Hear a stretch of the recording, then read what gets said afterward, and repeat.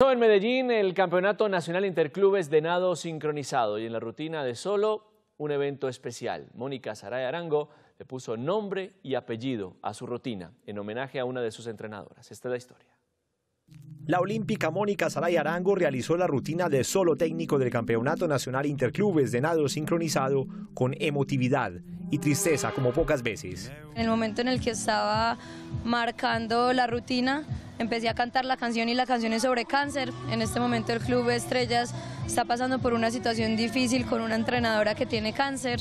Eh, me movió muchas fibras, muchas, muchas, lona de sentido. Yo diría que no disfrutado, pero sí muy sentido y pensando mucho en ella y pensando en todo lo que estamos viviendo como club, en lo que están viviendo sus hijas y en lo que está viviendo ella en este momento en el hospital.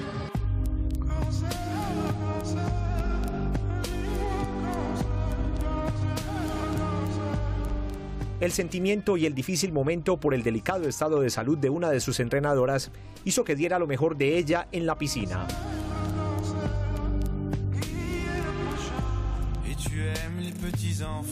Que realmente fue un golpe emocional muy fuerte y ella lo primero que me dijo fue elabora eso a tu favor y nada lo por ella.